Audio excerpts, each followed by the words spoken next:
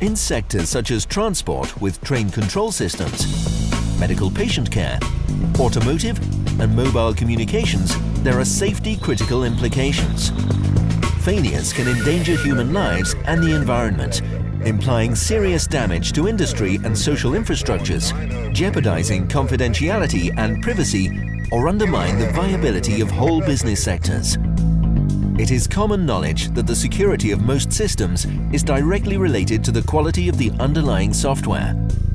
Based at Fraunhofer Institute FOKUS Berlin and in cooperation with more than 30 partners, the ITEA 2 Diamonds project developed a series of systematic model-based risk analysis, test and monitoring approaches for security testing of software systems with advanced model-based security testing methods enabling the early identification of design vulnerabilities. Key to quantifying the success of the Diamonds innovations and steering the project came in the shape of use cases.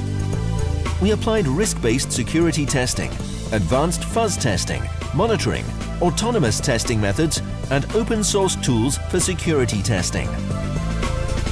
In Diamonds, access points have been analyzed that introduce potential vulnerabilities by allowing external parties to interface with the car's internal communication system. Such vulnerabilities may be used to access private data, to inject malicious code, or to start a denial of service attack.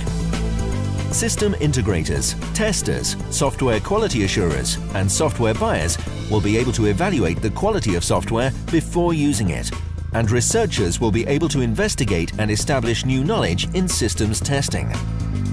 Diamonds has improved the practices of industrial-grade security testing on a European scale.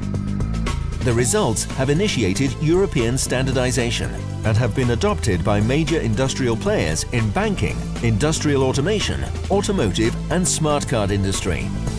Diamonds, a European security testing solution designed by European actors to preserve security, data privacy and thus a piece of European sovereignty.